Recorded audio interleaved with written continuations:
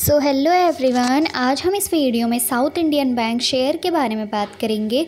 जो शेयर का प्राइस है, यहाँ पे सेवनटीन रुपये है और इस शेयर में आज हमें जो है, यहाँ पे 1.49 परसेंट तक के रिटर्न्स देखने को मिले हैं। आगे हम इस शेयर के वन मंथ के रिटर्न्स की बात करते हैं। तो वन मंथ में शेयर ने हमें 3.34 परसेंट तक के पॉजिटिव रिटर्न दिए हैं।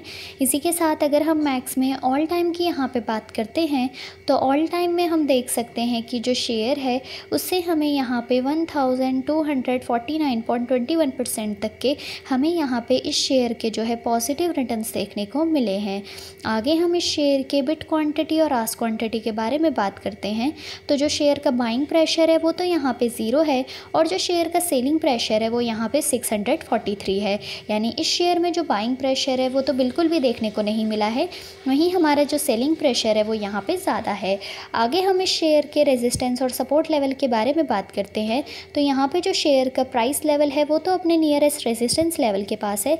यानी हम कह सकते हैं कि जो शेयर है, वो यहाँ पे नेक्स्ट मंथ तक अपने रेजिस्टेंस लेवल को हिट करते हुए हमारा जो टारगेट है, यहाँ पे वो सेवनटीन रुपये पॉइंट फिफ्टी पैसे के राउंड रहने वाला है।